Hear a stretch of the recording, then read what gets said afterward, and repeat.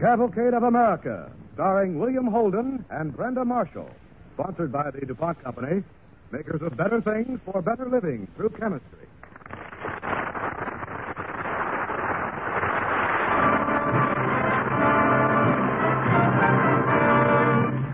In tonight's DuPont play, The Firefly Lamp, we present two outstanding Hollywood stars, William Holden and Brenda Marshall. Miss Marshall will appear as Otelia Butler, and here to open our DuPont play is William Holden as Will Mahone.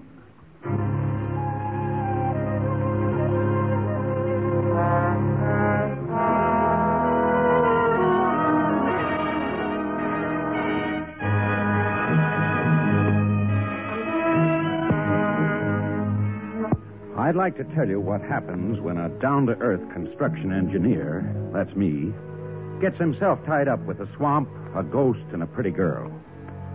The swamp? Well, that's the Great Dismal. The ghost? Well, it's supposed to haunt the Great Dismal.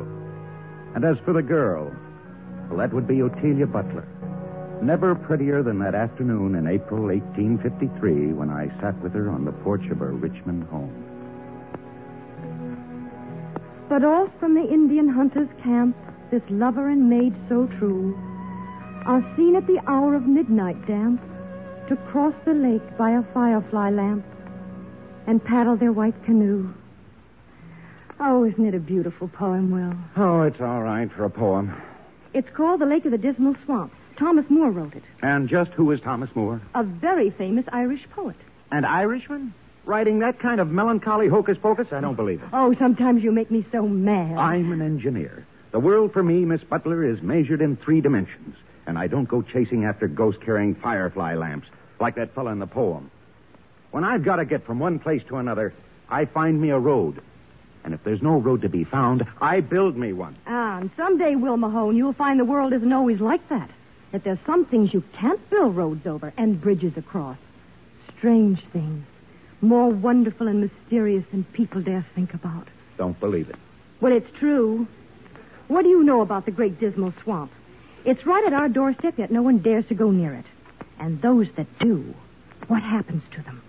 How many times have you heard of people disappearing into it and never being seen again? A swamp is a swamp.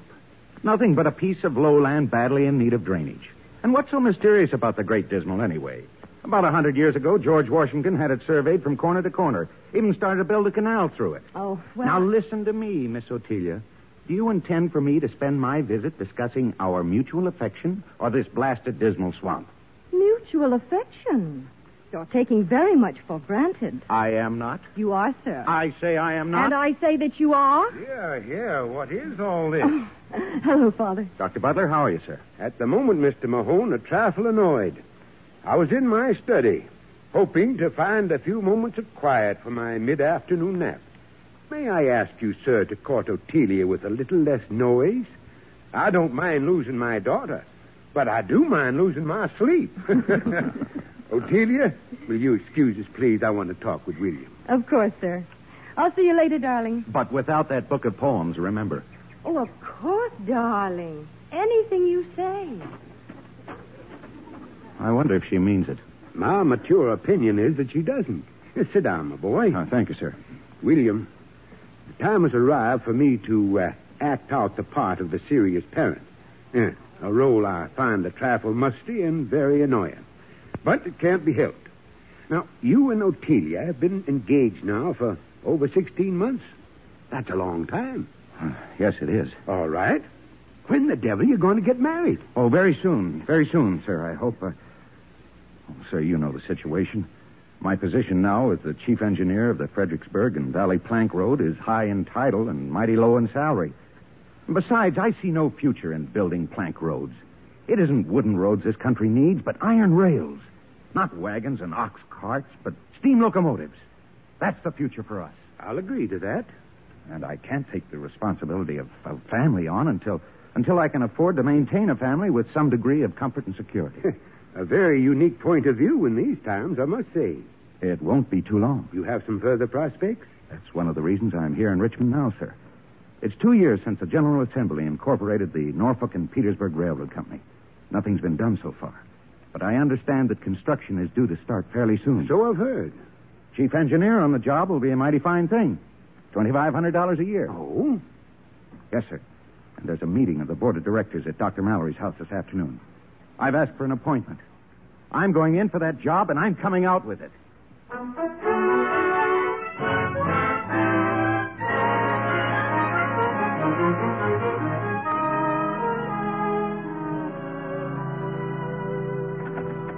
All right, Mr. Mahone, come in, please. Thank you. Sorry I had to wait so long. Oh, that's all right, Dr. Mallory. Mr. Camp, Mr. Leonard, members of our board of directors. Rare pleasure to meet you, gentlemen. I do, you sir. Now then, suppose we get down to business. Mr. Mahone, I understand you're familiar with the country between Norfolk and Petersburg. Yes, sir. Like a muskrat knows his creek. You have any ideas as to the best route our railroad should follow? Yes, I do. Well, let's hear them. Yes, sir. Well, uh, may I use this map of Virginia you have here on the wall? By all means. And borrow this ruler for a moment? You go right ahead. Now, between Norfolk and Petersburg, there's only one town the railroad has to hit, and that's Suffolk, right here. Mm-hmm.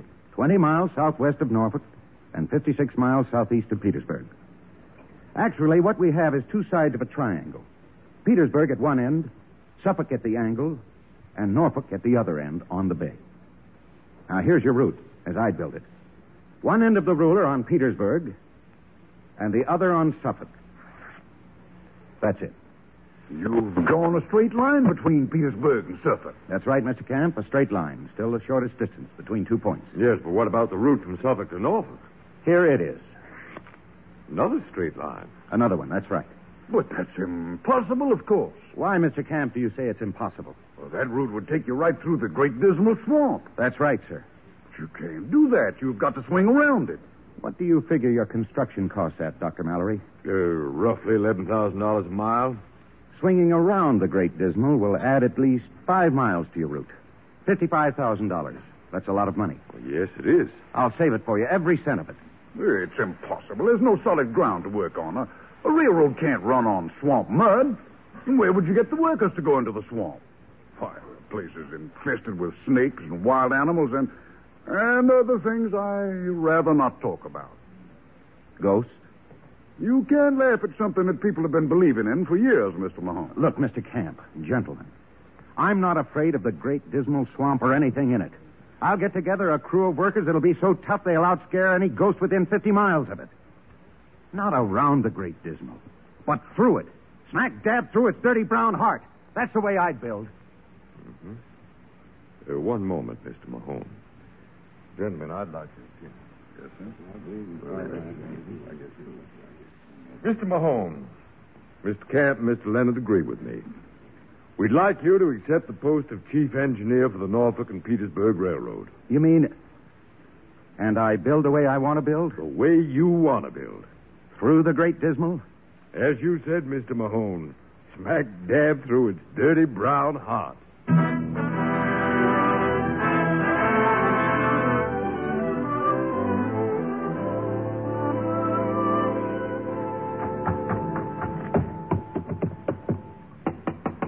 Otelia? Otelia! Will! I've got it, darling. I got the job. Oh, how? When? Come out on the porch. I've got to tell you all about it. Everything. Dad's asleep upstairs. Chief engineer. $2,500 a year. It's all set. Oh, it's wonderful. How did you do it? With a ruler and a straight line. A line that runs smack through the Great Dismal Swamp. Oh, We'll get married right away. I'm taking a surveying gang through the swamp next month. And you come along with me, too. It'll be a wonderful honeymoon. A honeymoon? In the Great Dismal? But why not? I don't know. It's, it's just that I. going on down there? Oh, Father, Will got the job. He's been made chief engineer of the railroad. Good. Glad to hear it. And I'm going to marry your daughter. Fine. When? As soon as possible. Uh, with your permission, sir. Well, if you want my permission, the two of you best be moving off the porch. If I don't get some rest, I'll be walking down the aisle of the church in my sleep.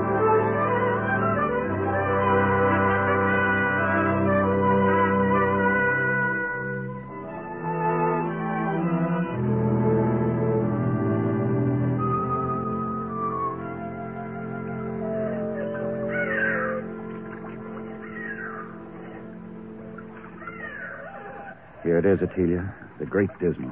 Oh, I'm still afraid of it, Will. Afraid of it? What's there to be afraid of?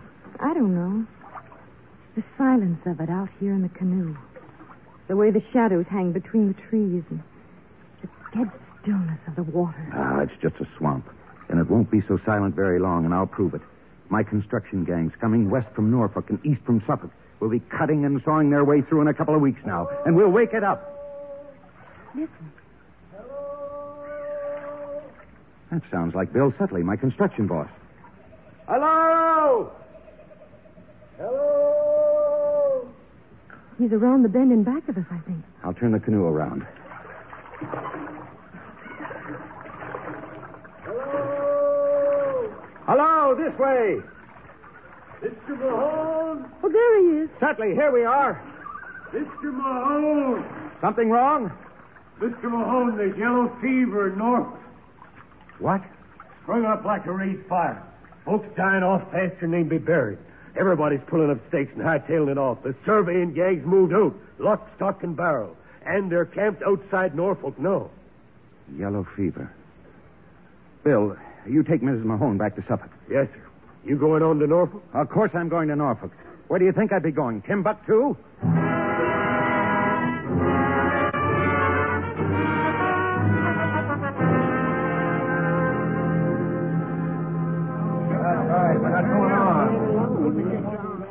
Now, men. Who's doing the talking for you? Ben Thomas? We're quitting, Mr. Mahone. We ain't going into Norfolk. You signed with me to do a job. That we did. But nothing we signed says we got to go near Yellow Jack. Now, wait a minute, boys. Wait a minute.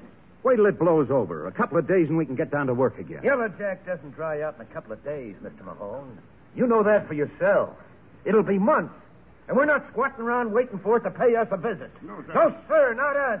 Let's go, man. Get out of here. All right, get out then. Run away.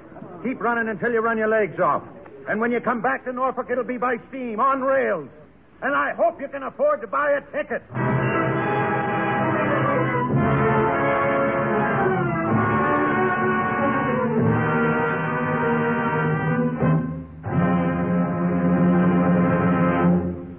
Are listening to the Cavalcade of America, starring William Holden as Will Mahone and Brenda Marshall as Otelia Butler.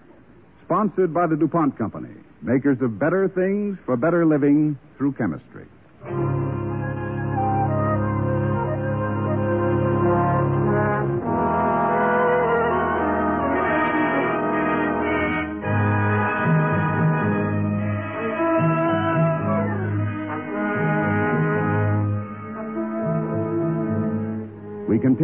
Our DuPont play. A young Virginia engineer, William Mahone, has evolved a daring plan to build a railroad from Petersburg to Norfolk right through the heart of the Great Dismal Swamp. In the late summer of 1855, an epidemic of yellow fever has suddenly swept down on the city of Norfolk, forcing Mahone to suspend construction. It's a few days later now, and he's meeting with the board of directors of the proposed Norfolk and Petersburg Railroad in their Richmond office. Just how bad is the plague in Norfolk, Mahone? It's very bad, Dr. Mallory. You can't even describe it. The streets are empty, and the only sound you hear is the wagon that goes around collecting the dead. Well, that's terrible. And you'll never get a construction crew together that'll go near the town now. That you can be sure of. Sure enough, Mr. Camp. Gentlemen, I have a suggestion. Yes, sir? I propose that we end our line at Suffolk. Forget about going into Norfolk. And the line at Suffolk. Well, you can't be serious, sir. It's got to get into Norfolk. It's got to reach the sea. But you said yourself, sir, that Norfolk is a dead city. It may never come back. Oh, don't you ever believe that. Norfolk will come back. It's got a future. One look at the map will tell you that. But, Mr. Mahone, we've got to take a practical view of our problem. Practical view by all means. All right. Here's a practical view. Norfolk is one of the best harbors on the coast. It's the nearest and best point for the flow of trade between the ports of Europe and the valley of Mississippi. Patrick Henry said that, and Jefferson agreed with him. Norfolk is Virginia's door to the world. You can't slam it shut. What other choice do we have? Keep building. If we can't get our construction gangs into the city now, then let's get started going through the swamp. That'll take months. And by the time we reach Norfolk, the fever will have run its course. It's a great gamble bringing a railroad into a dying city. It's worth the gamble. I agree. Start building through the swamp, Mahone. Start at once.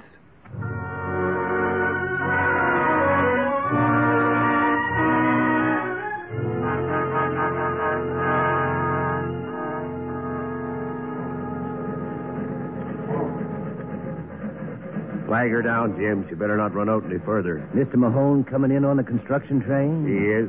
Does, uh, he know about it yet? No, not yet. He ain't gonna like hearing it. I ain't going to like telling him. There he is, waving from the engine tender. He's got the missus with him. Hi there, Sutter. Hello, Mr. Mahone. I brought the missus with me. Give me a hand here. Right proud we are to have you with us, Miss Mahone. Watch your foot now getting down. It's kind of muddy hereabouts. There you Oh, thank you, Mr. Sutley. Oh, please don't worry about me. I'll be getting back to Suffolk by nightfall. Mr. Mahone insisted that I come down and see how well you were going. Oh, he did, eh? Maybe it's how we better help you right back on that train. What are you talking about? We ain't going well. Huh? We not only ain't going well, we ain't going nowhere. What's wrong now? Well, seems we hit ourselves a little mud patch. Not just your plain housebroken kind of mud, but the ooziest, slimiest mud ever put on by the imps of Satan. You know that fill we had in the section we finished just before you left? Yes, what about it? Nothing, except it ain't. Sucked right down into the mud, the whole blasted embankment. I don't believe it. You don't say. Well, you just walk right along there a couple of hundred yards and see for yourself. Mr. Mahone, you ain't never going to get a train to run on rails through this here slop. Not unless you find some way to float iron on mud.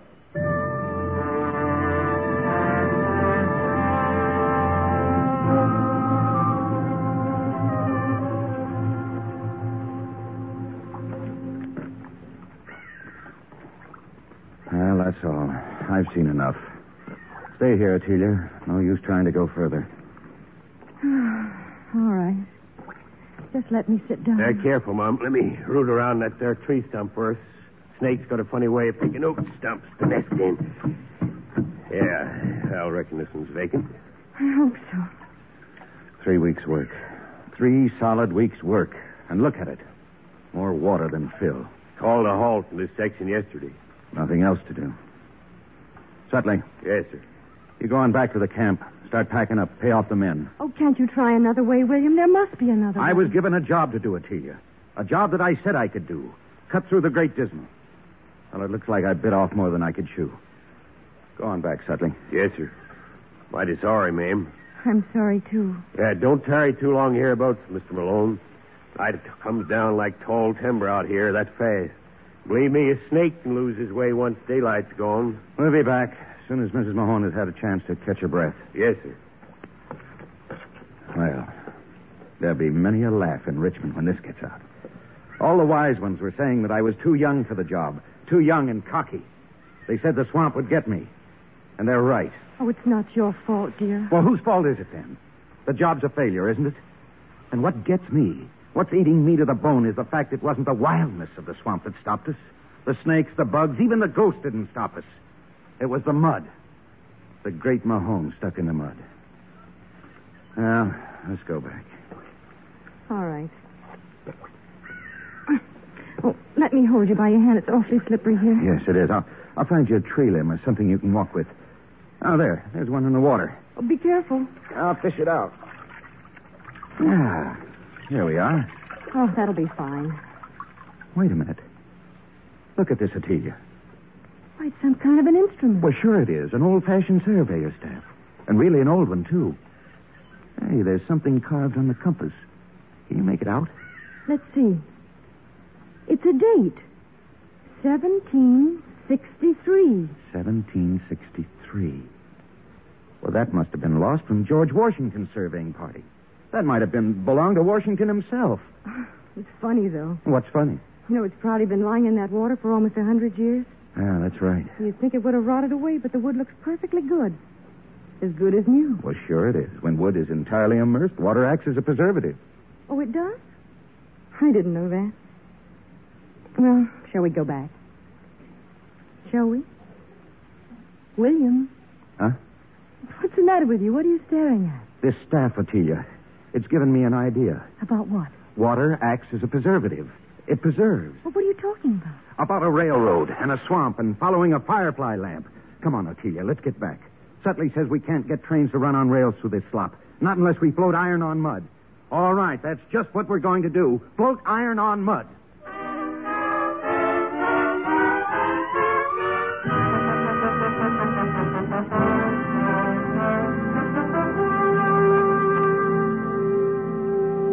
Let me ask you something, Bill. What's the only kind of roadway you can build through a swamp? The only kind that'll hold up. Plank road, corduroy, you know that. Right. And that's just what we do. We dig a right of way 100 foot wide clean across the swamp. We put down a corduroy, a plank road of cypress logs. And then on top of the logs, we build our embankment. Ditches along the side will carry water above the level of the planks, keeping them always in water, underwater. A road on top of a road. That's it. a wild idea. It is, but a good one. Now, get your lumberjacks to work. We're going right through the great dismal swamp this time, right through to Norfolk.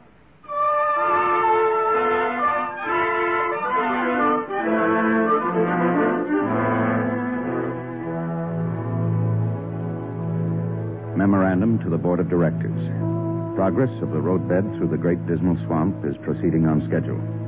The rails are already laid in the section between Jericho Creek and the Land Company's canal.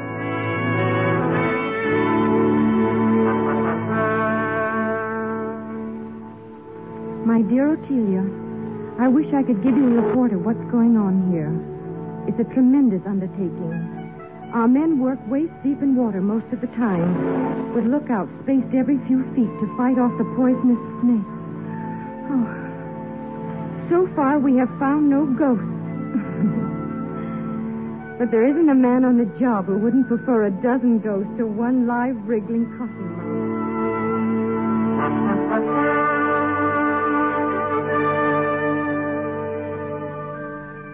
greatly pleased to inform you and the other members of the board that our line is complete. We expect to run our first train into Norfolk on September the 1st. I have, I have taken the liberty of asking my wife to come along. This will be a great occasion for Norfolk, for Virginia, for all the country.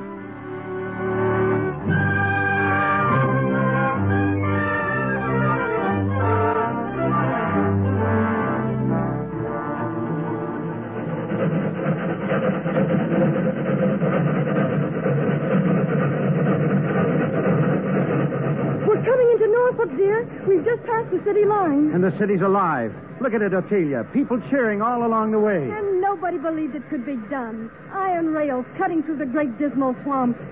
But you did it, Will. Oh, I'm so proud of you. Proud of me? A man like me, crude, unpolished, with no love for such fine things as poetry? Oh. I'm surprised at you, Otelia Butler. How the name isn't Otelia Butler. It's Otelia Mahone, wife of William Mahone. And you'd best be very nice to me. And if not, Then I'll run away. to the lake of the Dismal Swamp, That's right. I'll come after you. How? Paddling a white canoe? Not me. I'll be riding on the 448 out of Norfolk. Oh, how unromantic. Maybe, but a lot more reliable. We're coming into the station. Oh, Will, look at the crowd.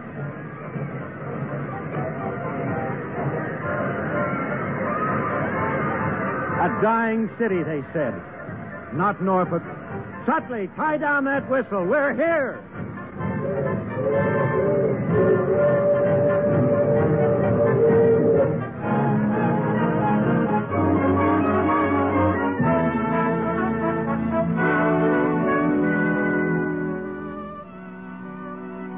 That was the beginning. Today, on the main line of the Norfolk and Western Railway, 56 million tons of coal are carried in a single year.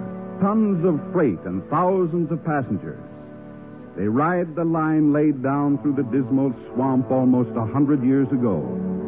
A line that today recalls the vision and the resourcefulness of Will Mahone, who, in the spirit and tradition of freedom, freedom of enterprise and of opportunity, built Virginia's gateway to the West.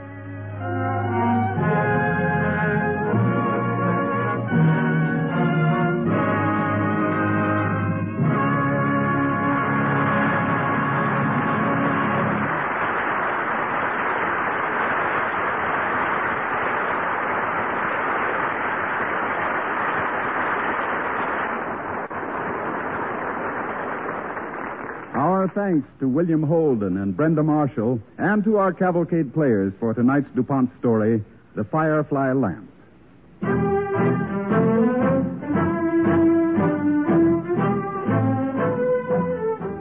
Next week, the DuPont Cavalcade will present the popular Hollywood star Lee Bowman. Our play tells of a young man who walked 1,600 miles but who refused to walk out on a dream. Be sure to listen.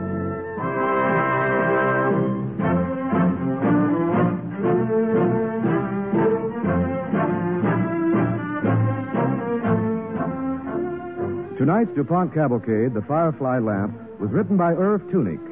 William Holden may soon be seen co starring with Gloria Swanson in the Paramount picture Sunset Boulevard. Music was composed by Ardon Cornwell and conducted by Donald Voorhees. The program was directed by John Zoller. Ladies and gentlemen, during this National YWCA week, we join the nation in saluting this great organization of three million American women and girls, an integral part of our rural and urban communities and our churches and our schools. The YWCA brings a distinguished contribution to our country's welfare with its high ideals of character and patriotism. The DuPont Cavalcade of America comes to you from the stage of the Belasco Theater in New York and is sponsored by the DuPont Company of Wilmington, Delaware, makers of better things for better living through chemistry. Baby Snooks, Harris's daddy, next on NBC.